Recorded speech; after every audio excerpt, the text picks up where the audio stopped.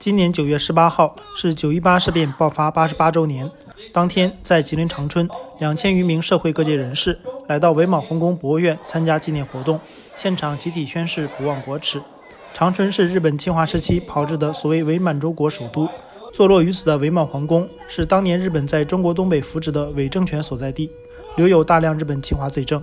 当天九时十八分，刺耳的防空警报在长春上空响起。参加纪念活动的各界人士在警报声中默哀，悼念在战争中牺牲的革命先烈和死难同胞。随后，众人在“勿忘国耻，振兴中华”的条幅上签字明志。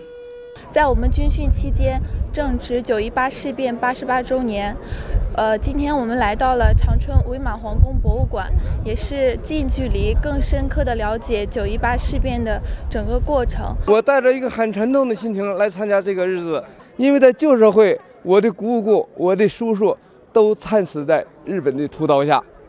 从1988年至今，李杰每一年都会参加九一八事变相关纪念活动，告诫自己和家人勿忘国耻。东北是中国对日作战最早、历史最长的地区，在伪满皇宫博物院东北沦陷史陈列馆，有上千件历史图片和文物，真实的展现了日军从谋划到侵占掠夺中国东北的十四年历史。呃，我们希望通过这样的一次活动呢，让大家保持对国家、对国耻、呃，对国难以及中华民族呃苦难抗争的这样的一个呃记忆。我们保持记忆不是为了呃延续仇恨，而是为了让更多的人呃了解